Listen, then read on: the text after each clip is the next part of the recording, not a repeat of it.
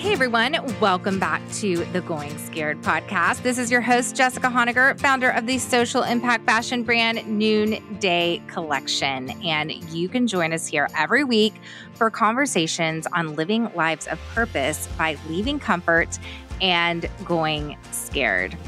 Well, today is a very, very, very special episode. It's a standalone episode. As you know, we are in between seasons. Our last season was all about the Enneagram, our special summer launch. I hope that you've had a chance to go listen to that as a three part series where we sat down with nine different Enneagram types at one table, and it was a fascinating conversation. So I encourage you to go check that out. We're going to be launching our new season in September. But until then, Noonday has had some really, really big news. I hope you've seen it. If you haven't yet, let me just give you the 101. Sseko Designs and the founder of Sseko Designs, Liz Bohannon, have merged under the global brand of Noonday Collection as one global family. Sseko Design's mission has always and will always be that every single girl deserves to learn and to lead. Liz Bohannon has been a long-time friend of mine. We have kept in touch as entrepreneurs, as working moms over the last decade.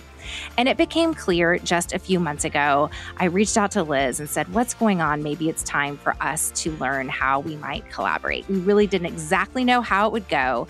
But as time went on, it became clear that the best decision to support all of our artisan partners and our mission was to merge under Noonday Collection. And so the last few months have been super exhilarating. They've reminded me of startup days so much decision making. And we have now launched our collection that thankfully now includes an incredible wardrobe collection. Bags, accessories, home goods. We are now a one stop ethical shop for anything that you would want for yourself or anyone else in your life. Some of my favorites so far in our new collection are the magic pants. You've got to go check them out. They're the kind of pants that can sit in your closet for years to come because they magically fit, fit me at least pre-vacation and post-vacation where when I tend to, you know, drink too many margaritas and gain a little bit of weight. They do not wrinkle and they also are super comfortable even in the Texas heat. So that is one of my favorites. Some of my other favorites are these gorgeous ceramic earrings. And right now is the time to go pull up the noondaycollection.com site and check it all out. So, Liz and I are both having each other on our shows right now. And her show is called Plucking Up. It's an incredible podcast that I have listened to for a long time now. And you can go check out her podcast. It is called Plucking Up. Her book is called Beginner's Pluck.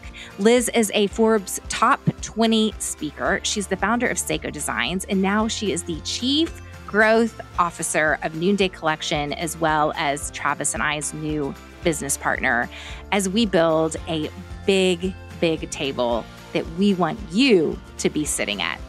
Here's Liz.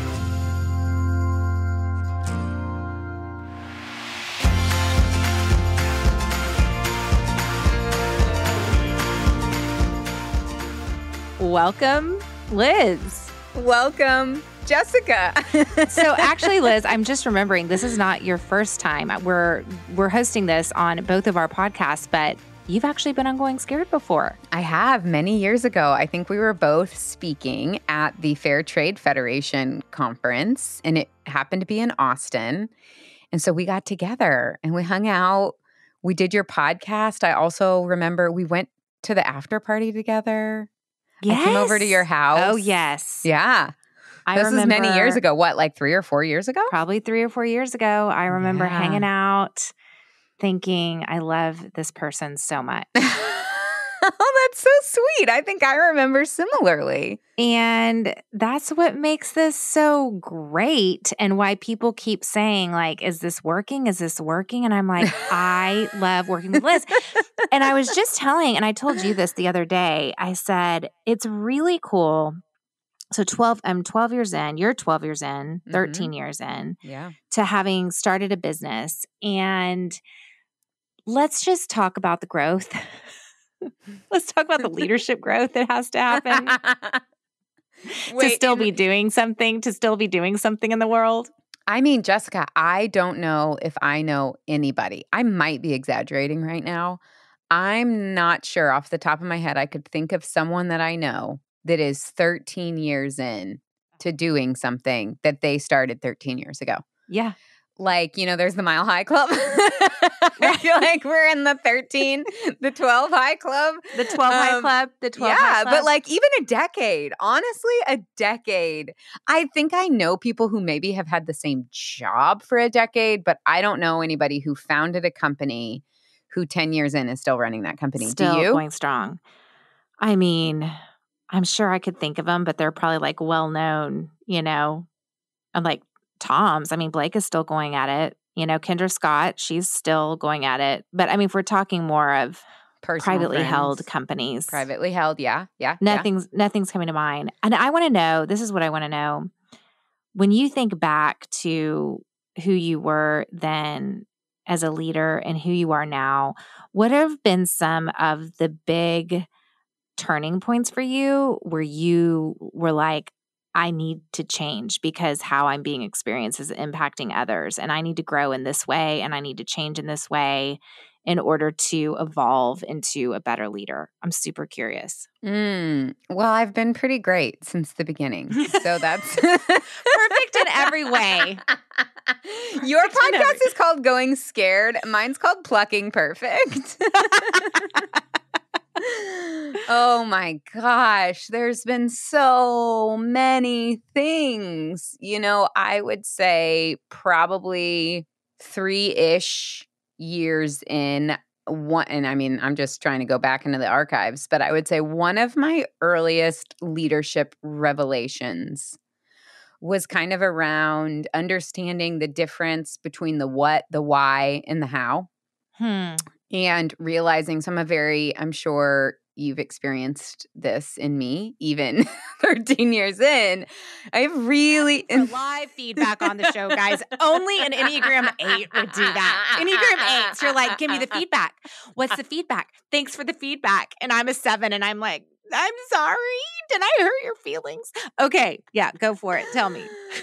You know, I well, I have very strong opinions on things. I, I typically just naturally have a, a perspective and a point of view and I hold, I can hold to things naturally really tightly of just like, no, I think this is why we have to do this. This is what we're going to do. This is how we're going to do it. And I, I mean, honestly, it kind of boils down to realizing that as a leader, you need to choose your battles. mm-hmm. Like if if you consider everything important to do in the way that you think it should be done, you're going to lose effectiveness as a leader. People will stop listening to you. They will stop uh, believing you when you say no no no no. Like you know i have a i have a friend. She's one of my best friends. I'm gonna make fun of her on this show publicly because i've i've done this to her in person but she got married and oh my gosh it was such a fun wedding she did an incredible job it was very orchestrated all of these like amazingly fun interesting things. But she considered herself a very low key bride and this was the opposite of a low key wedding. Like, just literally nothing about it was low key in the slightest. And every time she brought a new idea to us of like, okay, now you have to go get a pair of these very specific white high top shoes so that in the reception at this very specific moment, we can pick up our very expensive specific dresses that we got that matched our very specific floral headpieces that we were wearing. But every time she brought a new idea, she'd be like, no, no, no, I'm like super low key. This is the one thing that I actually care about. You're right. And you're like, okay, you've said that 13 times now. You've lost credibility. You're not a low key bride, and that's fine, but let's call it what it is. The point being, if as a leader, everything in your way and your perspective on every single item is so important, you're going to lose credibility and you're going to lose effectiveness and you're going to build an organization that actually isn't uh, innovative, creative. It's not going to evolve because it's only going to be your perspective. That you have to welcome other ideas in. You have to stay super curious. But I struggled in the beginning to know what those things were. Like, where Mhm. because I don't want to just be like willy nilly and take everybody's ideas and like we have to focus and we have to like have a unique value proposition. And so for me, kind of asking, is this a why, a what, or a how was Mm. really, really super helpful. And realizing that holding on to the why and being pretty militant about our mission, our vision, our unique proposition was actually my responsibility as a leader to know what that was and to hold on to that. But then to recognize that the hows and the whats actually I needed to be more open-handed with and that that was okay to let other people into those things, to stay super curious, to take other people's leads or perspectives, etc. I love that. It, it's interesting in the story that you just gave. I would say for me, it's similar to the bride, where she had one perception of herself and how she was being perceived, but it was very different on how she was occurring for other people. Mhm. And that, my, I mean, obviously, there's been so many along the way, including very many just in the last couple months. let's just say that if either you and I write another book, let's just say we know that we're we're in the middle of book material right now. we are, man. We are Every we now are and then, my deep. agent uh, reaches out. He's like, "So, when's that second book coming?" And I'm like, "It's being written. Okay, it's like it's, I am the, the life is being right lived, now. but it's going to be written."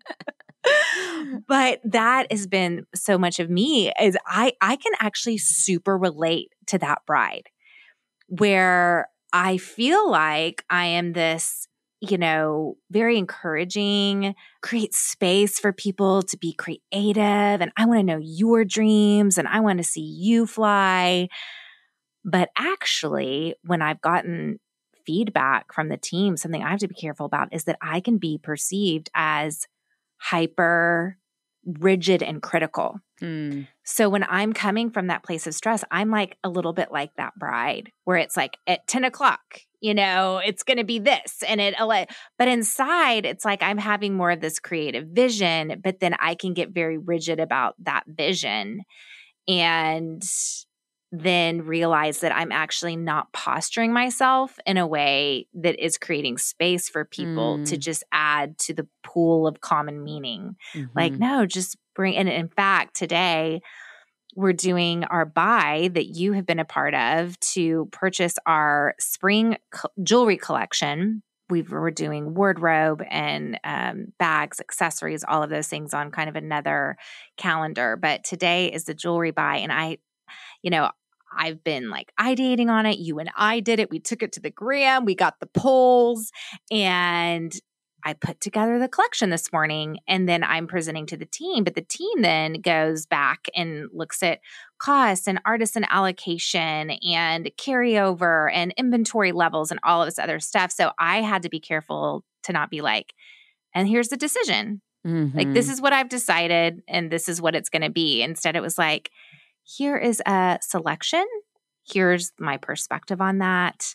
I know that there's so much that goes into decision making around this process, and I cannot wait to hear your ideation and your ideas at the end of the day because now they're kind of in there, you know, figuring all this out. And I'm realizing I have to be open handed Mhm. to okay that's not going to make it because it just doesn't make sense for this line or whatever so so it's just it's interesting how do you think you are perceived as opposed to how you like when has there been a disconnect when you're like i'm occurring to you for like that i know there was something recently where i was like you get your idioms wrong just like me and you were like uh that is not no don't put that on me jess that's on you That's so true. I was like, maybe every once in a while, but I actually feel pretty confident in my idiom use.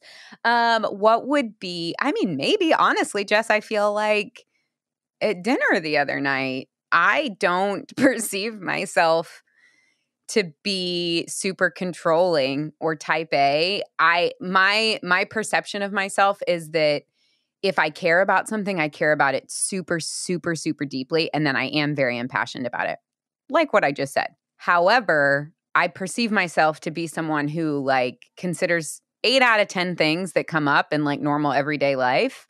I, I actually feel super flexible and open with. There's a misconception about eights that we are controlling. what's actually more true is that we don't want to be controlled. So mm. it's like when we sense that someone else is trying to control us, that's like super triggering.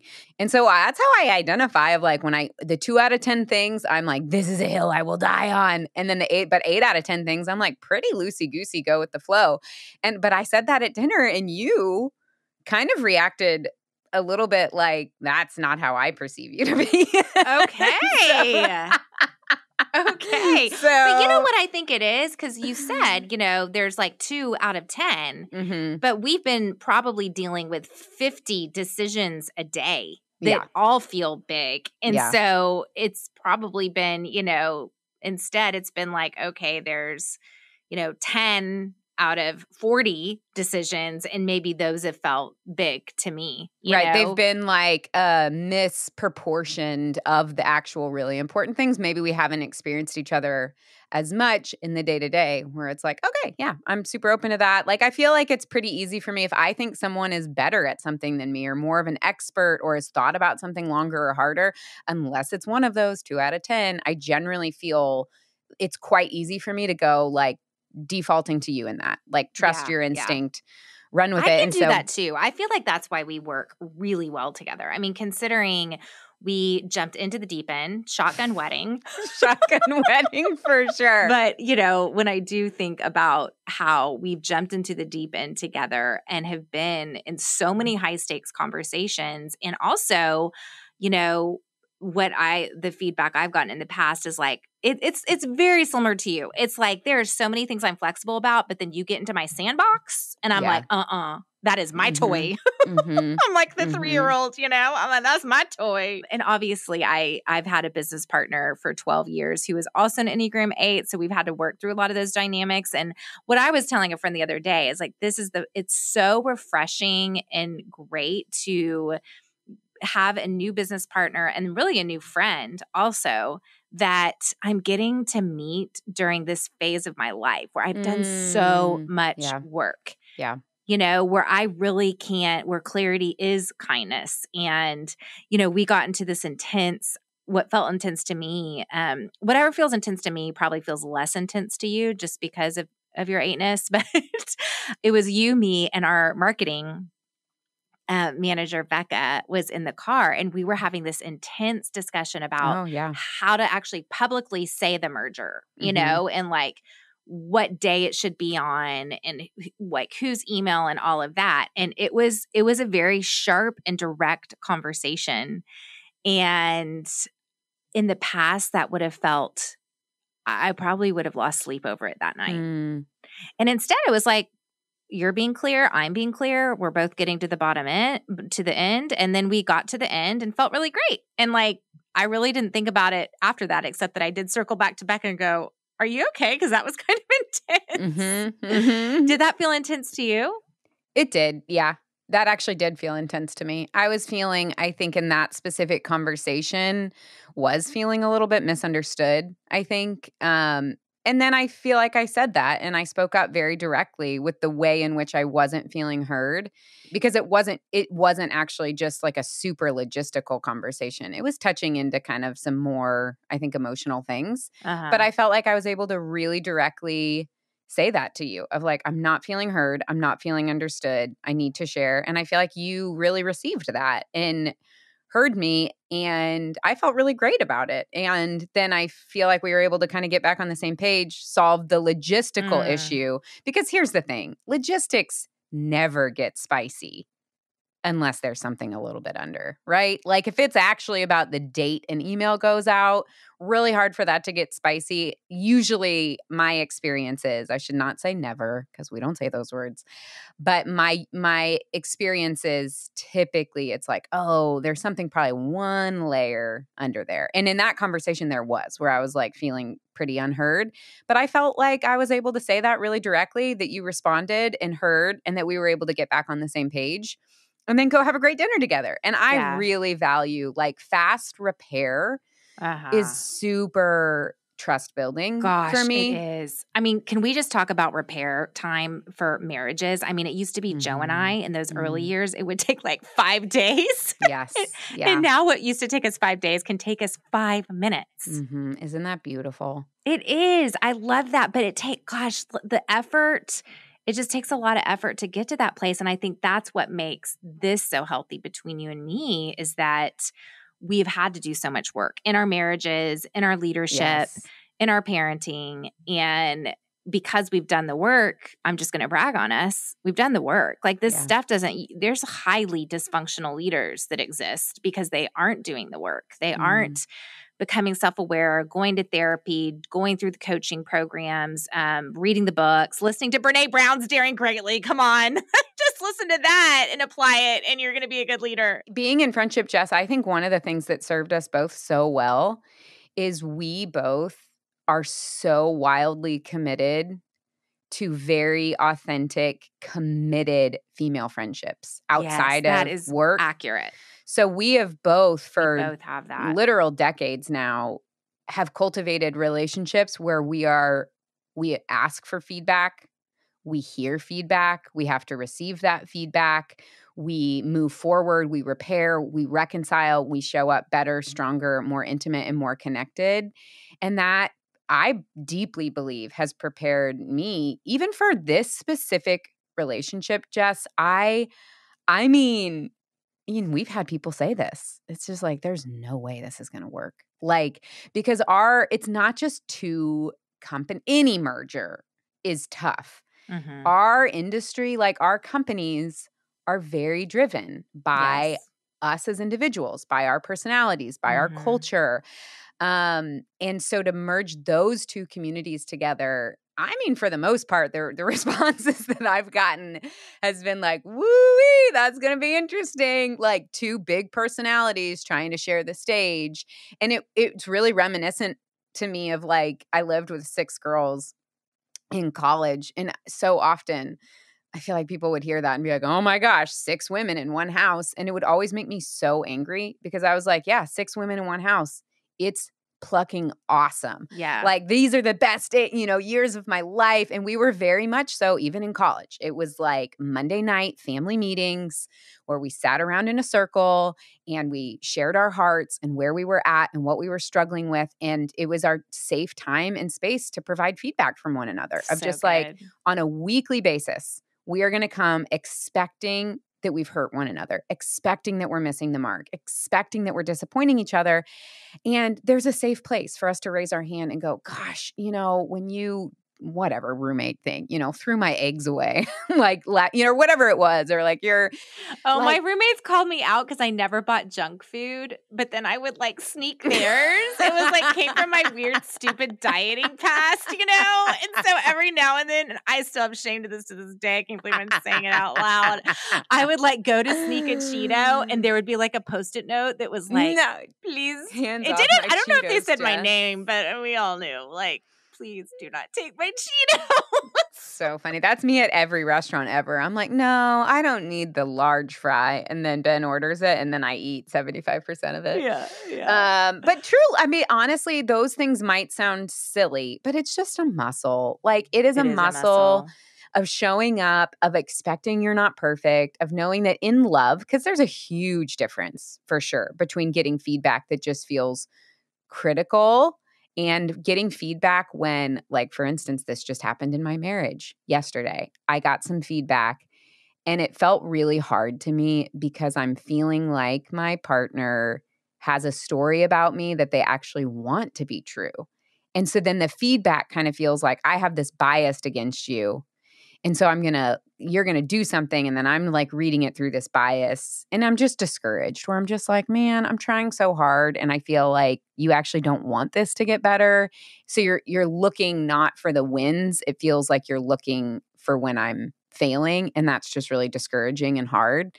And so I, I say all of that to say like feedback's still super hard for me to get in certain, you know, if I feel like it's like I just can't win or right. it If it's something like, you've been working on or yeah, you know and- what? My marriage therapist, or he's my therapist, but he told me something so accurate. And I have to say, it's also true for business too.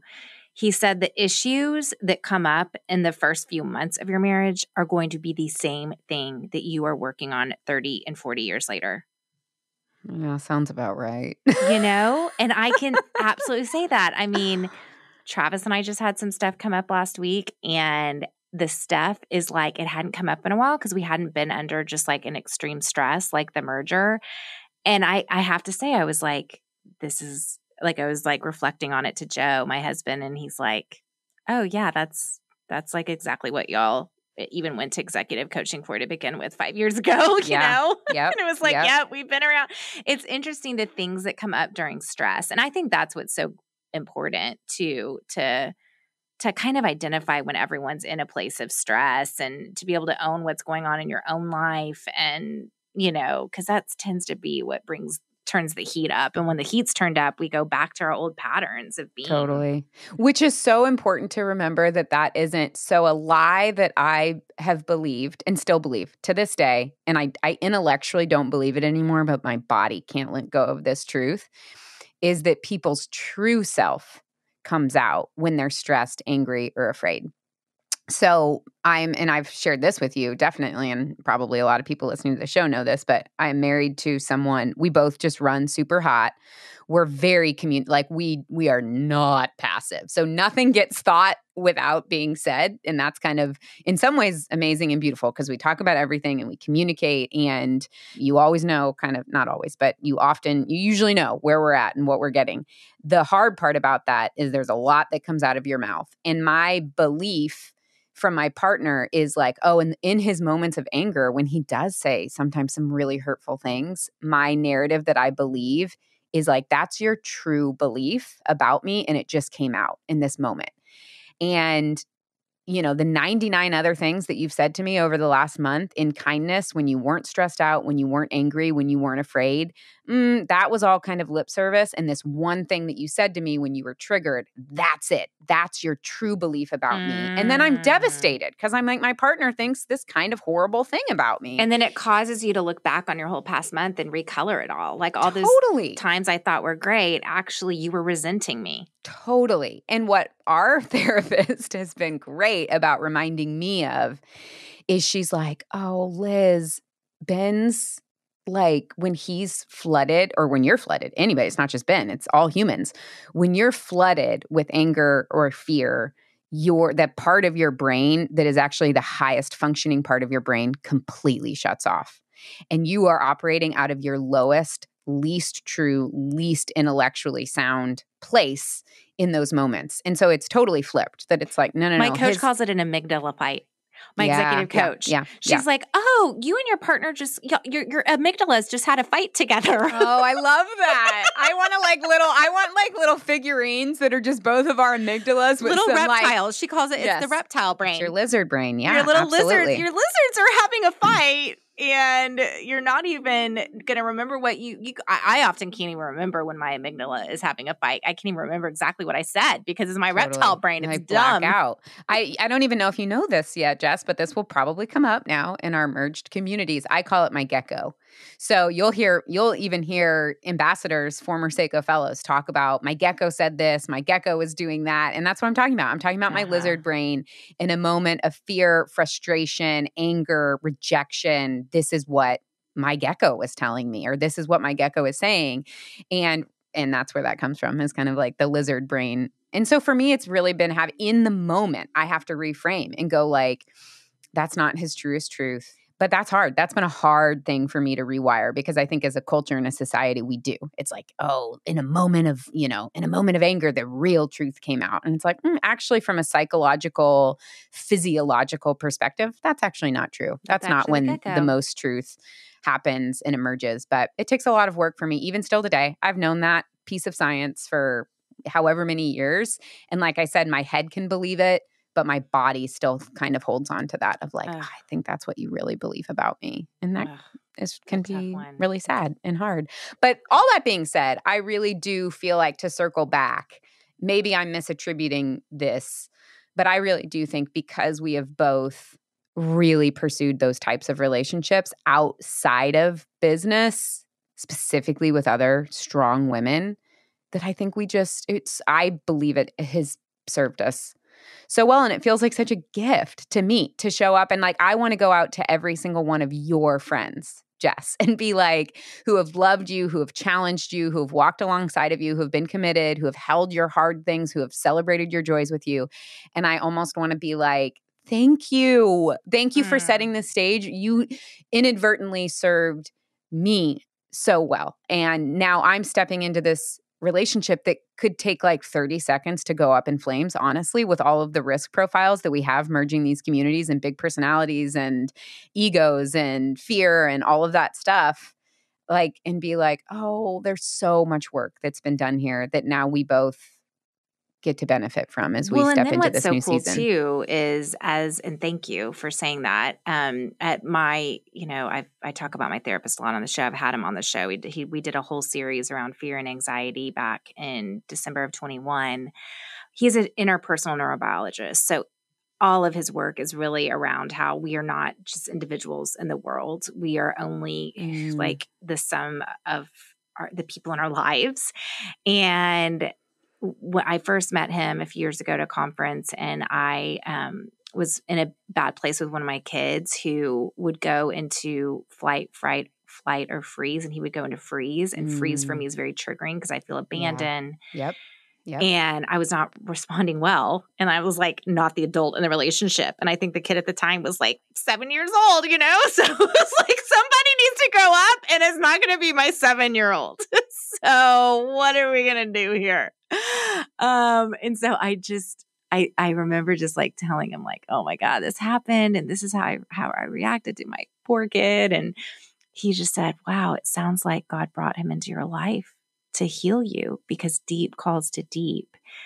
And it, it's cool to think about you and I. And it's like, God brought you into my life. There, there's going to be stuff that emerges now because of partnering with you that God is like, I want to bring that to wholeness. I want to evolve that piece of you so that you can even show up more whole and loving in the world.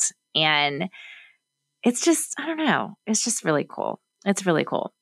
Okay, so what are some things that, you know, as we look into our future now that this is out there, you know, it's been about a week I'll tell you what I'm excited about is we are selling some amazing items and they are selling like hotcakes. So getting sales numbers in now that we're together, I'm just like, oh, oh this is good. This is so good. I mean, everyone everyone on my podcast knows because I'm so transparent. I'm overly transparent.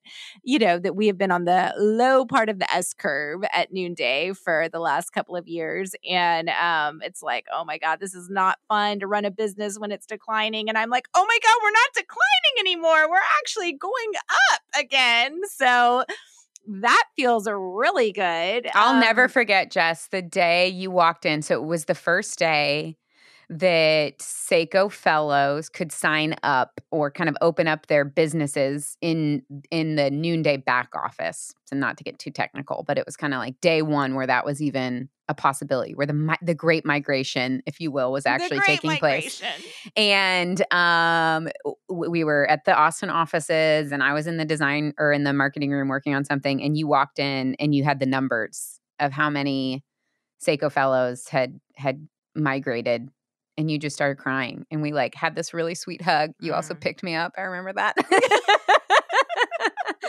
Um, but it was just like such a sweet moment i think for both of us because you know we're both we can we are. We know what we believe in a lot of ways and we have these strong perspectives and strong voices and so i do think that sometimes people can perceive at least me and i would imagine it's the same as you of just like, and I've had people say this to me before of just like, you're just so fearless. That mm-hmm. word of just like, mm-hmm. how are you so fearless? And whenever somebody says that to me, I'm just shocked because I'm just like, oh no, I'm mainly scared all of the time. like, I am mainly walking around terrified most of the time. And have I gotten to a point where I refuse to let my fear ha- take the driver's seat? Yeah, actually, the, the, vast majority of the time because I've I've built up the experience and the muscle memory to trust and believe that just because I'm afraid doesn't mean I'm doing something wrong. It means I'm doing something unknown.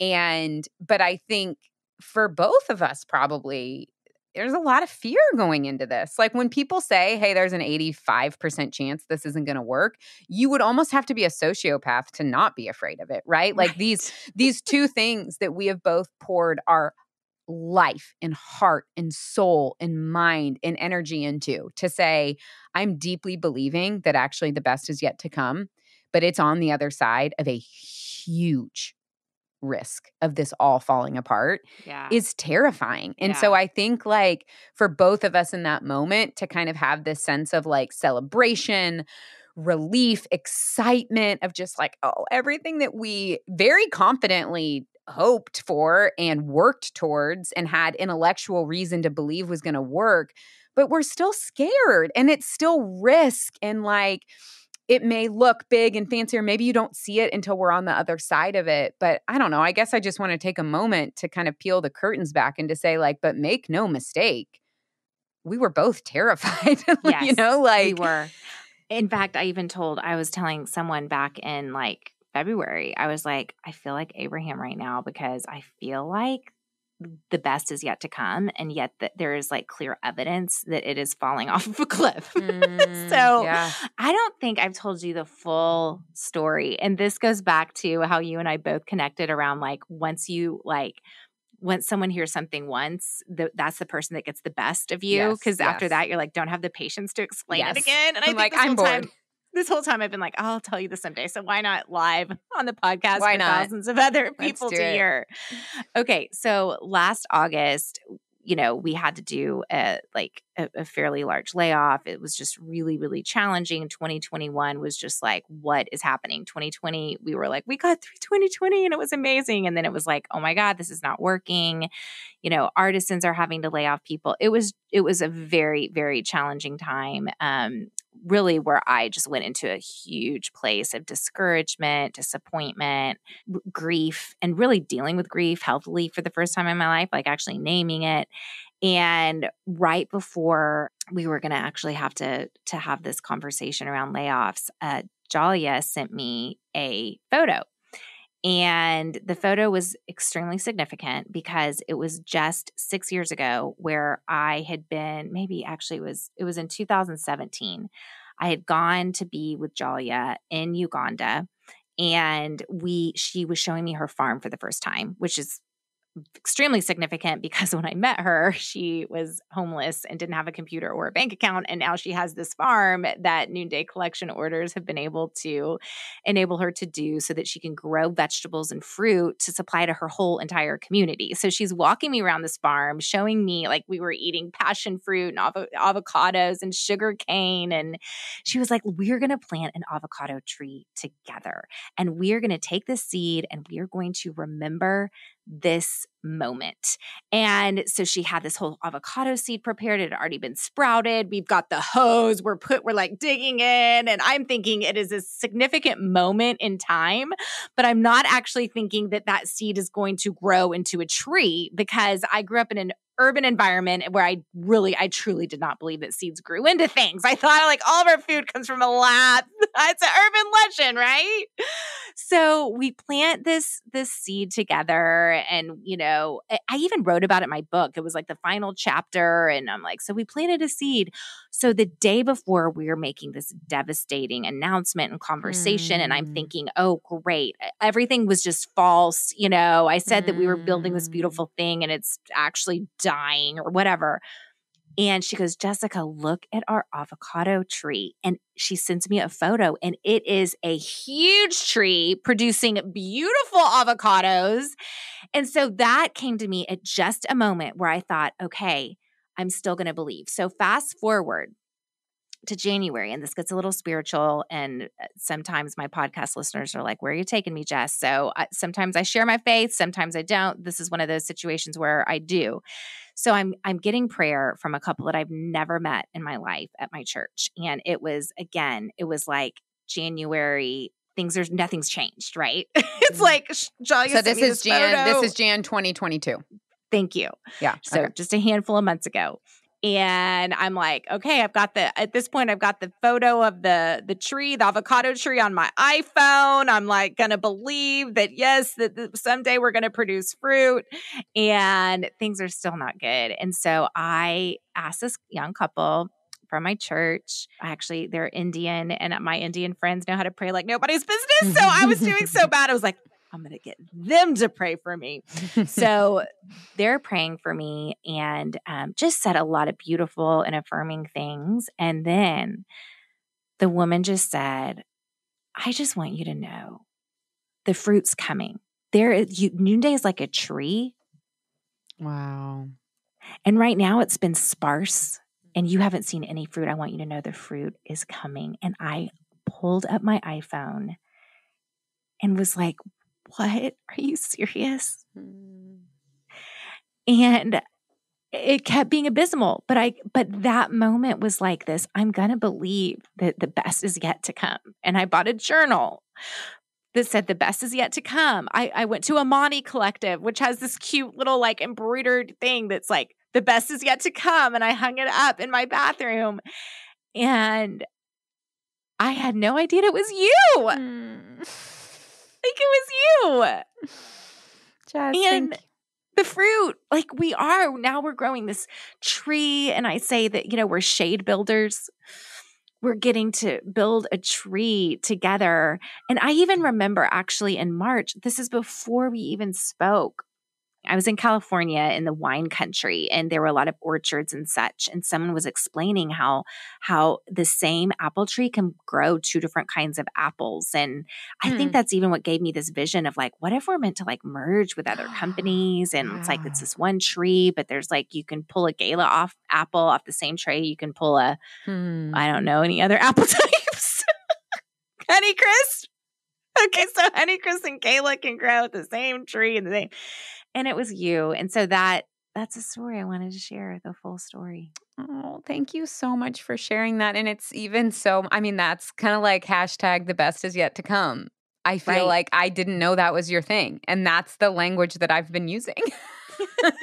um, which is just so, so sweet to see those ways in which our paths were probably in that very cosmic woohoo way, like passing and crossing one another um and you just you just never know right? You never know and i think that one of the interesting things about our story just that probably for an outsider is like i mean i don't think because we both believe very deeply in community and in collaboration over competition I don't think either of us would have been like Noonday as a competitor, Sseko as a competitor, use that language, but just purely, purely, purely from like a business standpoint, we were absolutely competitors, oh, right? Oh, similar product categories, similar models. Like we were the two biggest fair trade fashion social selling companies. So just from a pure, pure on paper, very much so, like we were one another's biggest competitors. And I think it's like a very good reminder of just like you I mean, honestly, not to make it too trite or like but you just never know, right? Like treat every person in your life. What if we walked around treating every person in our life going like, well, what if that's a future business partner or bestie? Totally. that, I, that I don't know yet, you know, and just like and just with with a sense of um care and I mean, I I know I shared this moment with you, but only with our internal community that I don't even know when this was, but just like several years ago. So I have a I have a rule on social media. I call it my three strikes rule that if I follow somebody on social media and I have a quote unquote negative feeling, so whatever, it makes me feel bad, it makes me feel ashamed, it makes me feel not enough, I feel jealous, I feel afraid, whatever it is, I just pay attention to those emotions. And I, the first time, I'm like, okay, maybe that was just like a random thing. Then if it happens a second time, I'm like, okay, take note. And if it happens a third time, I give myself a choice. And I say, you either, eh, for whatever reason, this person isn't serving you, um, and I, I, you know, I like to tell people that it's just like you get to be in control. Like you are the boss of your inputs. You are. There are some relationships that you can't escape from. You know, when you're Jess, you were sharing about your seven year old who is triggering you. Okay, well, those are kind of situations where like you just got to lean in and figure that out. But like someone you follow on social media, like, can we all just say you're in control use your of that mute little button, people. use, Use, your the mute, button. And and so for me, I give myself two choices. I'm like either unfollow and I unfollow willy nilly all the time. I'm just like boop, unfollow. Don't feel bad about it. This isn't serving me for whatever reason.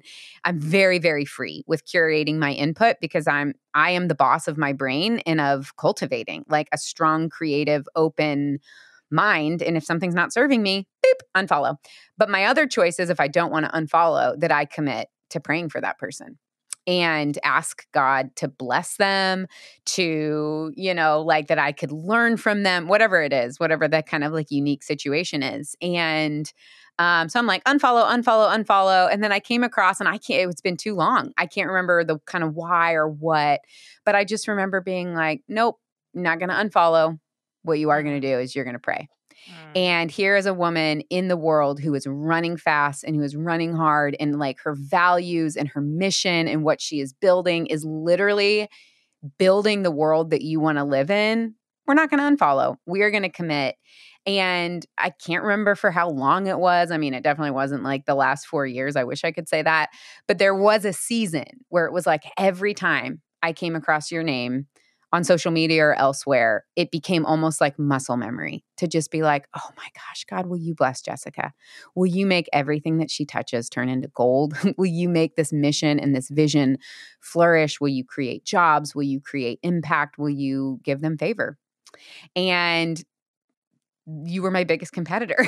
you know, like that was um it, it's a weird thing, but also and I I think it would have been a beautiful thing regardless of how the story ended up, but for me it becomes extra special to go, "Oh my gosh, all that time you had no, in your wildest dreams you didn't realize that this community that you had been holding up and praying for and, you know, wanting and wishing the best for would actually many, many, many years later become your family and your community and your business partner. Um, and just to like, th- those are the kind of like, I Mm. have goosebumps right now. of Totally, just me too. This like cosmic way in which we are, like And we we've been belong to choosing each that. And it takes intention. I mean, I've had you on my podcast before. That was super intentional. I literally Mm. hosted a competitor on my podcast. Mhm, you mhm. know and that was intentional because it was like you were here for the fair trade federation i mean that's what's amazing. I mean y'all in in the world of retail no one shares each other's sources with each other. Everything is top secret. Everything is very veiled. I mean that's why we are where we are today. People are like what? I want to know where my clothes are made. I want to Yeah. know where my jewelry comes from. And i was like you know what? In the spirit of fair trade partnership i am going to host a Mm. competitor on my show you know? Yeah. yep, yep, yep. And those are the things where it's just like I think it's easy to show up and on day one, it's you know, like I don't know, everybody has like a coffee mug or like a t-shirt, like, you know, choose collaboration over competition. But actually when it comes down to it, those aren't you don't just like wake up and be like, I'm gonna do this. Like this it's a is million s- choices. it's a between. million, a million tiny choices of how you're going to show up in the world. Are you going to operate out of a belief of scarcity, which I will just say upfront in, in a lot of different ways, I can tend to operate. My natural inclination can be one of fear and scarcity. And it has taken a lot of work in, in a lot of areas of my life to show up and to say, I don't believe that's the truth. I'm going to live out of a story of abundance and um, choose collaboration and choose generosity and choose honesty and choose transparency um, with the belief that there is enough. To your point, we don't just wake up and go like, "Oh, huge! Here's a huge opportunity on the horizon." All of a sudden, I'm going to believe in community over competition. It's actually like, "Oh no, I made ten thousand, and you made ten thousand tiny decisions." Again, not even just in the context of our businesses, but like just the muscles that we're building for how we show up in the world, so that when those opportunities present themselves, it's like, oh, you've been in the gym. It's possible. Like that muscle is that muscle has been built. And that's not to say there's a lot of work ahead of us. I know there is. Like I know that there will be challenging moments and things that trigger one another and all of these things. Like we're entering into a new season of unknown. And I'm pretty clear eyed about knowing that there are challenges ahead, but also going like, oh, but we've been building this muscle for so many years. And now we get to benefit from the fruit of that. It's posturing ourselves towards possibility and just mm. being aware of mm. that scarcity. Okay, everyone's listening now and they're like, "Whoa, I want to be a part of this." like if you're just like okay, I'm drinking the Kool Aid. Like, I want to learn what a life, what it means to have a posture of possibility. I want to know what it means to be a part of a community that's being led by people, by women that are saying, I am, I just laughed at myself when I, women, women. um, all my podcast listeners are very super used to the way that I say uh, women. And so, Liz, why do people need to join us right now and how can they do that? Oh my gosh. Well, there's a couple reasons that you need to join us. First, I'm going to speak to the you in the equation, not you, Jess. You are listeners of like, well, what's in it for you? I will say, um, one, what we're talking about right now, this sense of community. And I know that you've heard the same thing thousands of times that I've heard that, that what we have created collectively together in our communities is a place of connection of inspiration, of possibility, of collaboration, of deep friendship, of adventure, of purpose and meaning and impact. It's just a table. It is a big, beautiful table where we're saying, like, hey, if you care about creating dignified opportunities for our brothers and sisters across the globe, and if you care and you believe that every girl should have the opportunity to learn and to lead regardless of where she was born, what she looks like, the family that she was born into, the culture, what it says about her and her worth and her possibility. If you believe that every girl has should have the opportunity to learn and to lead, come sit at the table with us. If you are in a place where you are excited about the possibility of some flexible income, and what mm-hmm. flexible means, by the way, is not that you're not going to have to work because work is work and you will never hear Jess or I be like, no, just sign up and you're going to become a millionaire in your sleep. Like, okay, hard pass. No, you're going to have to work. Um, but you work on your own time to your own schedule in a way that absolutely can fit with the rhythms and the seasons of your life and make a really meaningful difference in your family's financial life and existence, uh, depending on how much of a priority you want to make it there is a seat at the table for you. If you love fashion and you're like, listen, I could buy all the things handbags, jewelry, clothes, sign me up. But like, mama's got a budget. This is an incredible opportunity to build a full sustainable wardrobe and lifestyle at a serious discount. Join us. And then there's the meta picture, right? Um, it has always been important to create dignified, fair wage jobs. It is always been important to create opportunity for female scholars. But specifically over the last mm-hmm. 24 months, in the context of COVID, over 100 million people. We have made a lot of progress actually in the last decade. And then a lot of that progress got wiped out over the last two years. 100 million people have been pushed back into extreme poverty. So, folks who had worked their way out are back in it. There are 30 million girls who stopped going to school during the pandemic and don't have a line of sight for getting back in the classroom. And so, on a meta level, from a mission and vision and impact standpoint, there has literally never been a more important time to engage and to make a difference. And I know, and this is a phrase you use a lot, Jess, of this idea of like compassion fatigue, of just like it's been a brutal few years and it's, we can't care about everything in the world. And that's okay. We, I don't think we were meant to carry the world's burdens. But let's not become just numb to the heartache of the world. And if for you, those two things, dignified fair wage jobs and girls going to school, if that makes your heart beat a little bit faster, if that makes you go like, yes, that is the world that I want to live in, but I feel totally overwhelmed. I don't know how to start. The problem seems so big. I want to tell you that literally, I feel confident in saying this brand promise. Jess, you can stop me if you disagree. We have made it the absolute most fun to do heavy, big, important work, more fun than anybody else in the entire world. like if you want right. to make a social justice impact, but you want to have a ball and you want to travel the world and you want to earn money and you want to look great and ha- and style and meet amazing friends. Come on. Like where else are you doing work that is that important that is also freaking fun? Right. So fun. I mean, we're talking it's we're we're having a blast, honestly. It's it's just incredible and we want you. We want you. And Liz and I have talked a lot about fear today. And, you know, all we want to say is go scared and then pluck up because we were joking about wanting to do a live podcast tour, and we're like, what would we call it? And then we're like, let's call it Plucking Scared. Plucking Scared. because we're all plucking scared, scared, but we all know that on the other side of our fear is our greatest impact. It's where our greatest relationships wait for us, it's where our greatest purpose is waiting for us. And that's what Liz and I are getting to live into. And we're not some, you know, special snowflake people. We really are just women who decided, you know what? Uh, I, I'm scared, but I know that that I'm meant to use my life to create opportunity for other people. And these other people are now our family and they're all over the world. I mean, we have people in now 13 different countries. We're traveling to Peru, to Ecuador, to Guatemala next year alone. And if you join right now, the earning starts now to get to go on those trips. I know Liz and I are going to be going to some of those places next year. And so you'll get to come with us.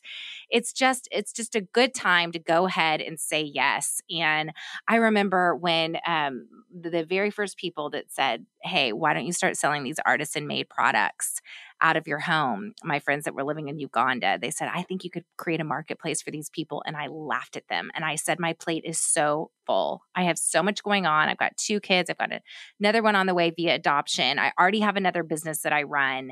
And what can I say? Courage cornered me. We got into a financial bind and I needed a way to have some additional income. And so this was the opportunity that I took. And so sometimes saying yes, even in the middle of those chaotic, fearful, tired, fatigued places is eh, that's actually the moment when you get to lift up and say, I'm going to stop just binging on Netflix. I'm going to quit just pouring the bottle of wine every single night. Like this is such a good way to do something towards your future self, like the, the future self that you really want to be.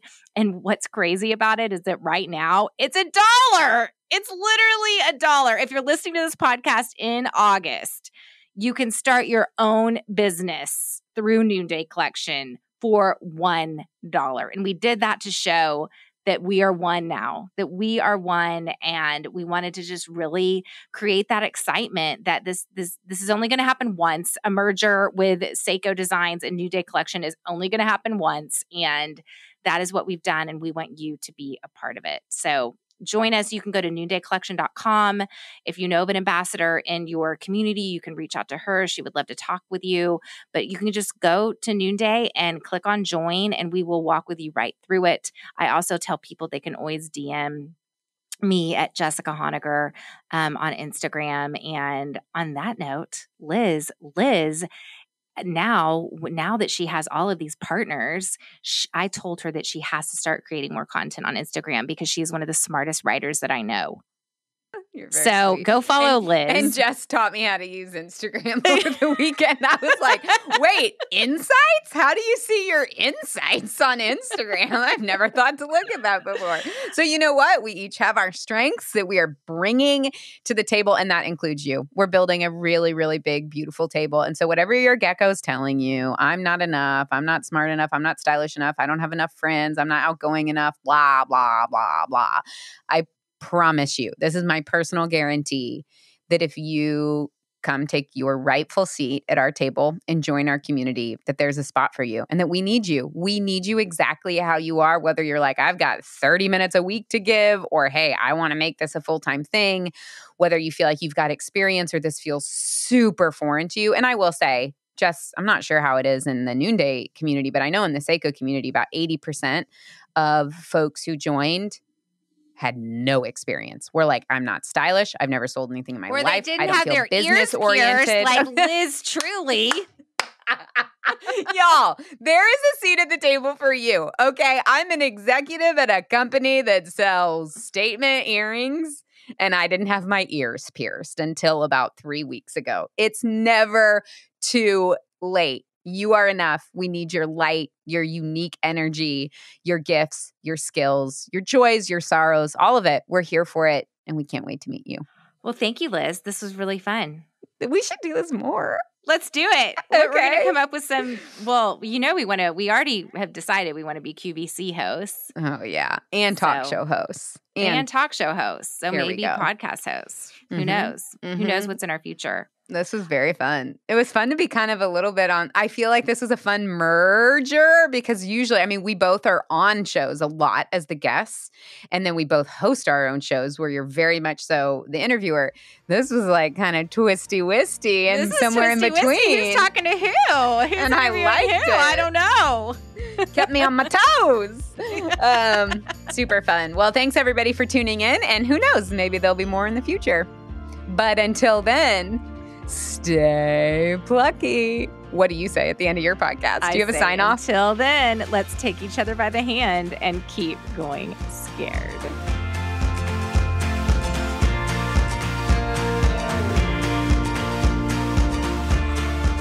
All right. Well, I would love for you specifically to share this episode. As Liz said, we are doing something important. We're doing something that not many people do. I think, especially women coming together to build a table together is unique. And you're invited. You're invited. And so, would you share this episode? You can share it by screenshotting it, putting it on Instagram. You could just text a link to a friend and say, This was really encouraging just to hear about two women and their stories of how they came together.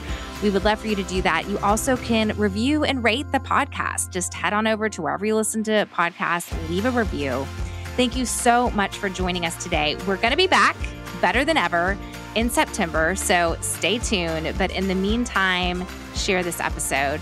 And until next time, I'll take you by the hand and we'll keep going scared.